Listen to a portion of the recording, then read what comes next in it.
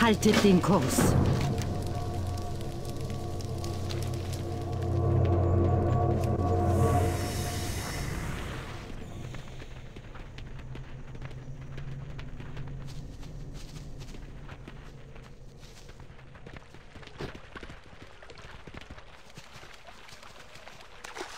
Yeah.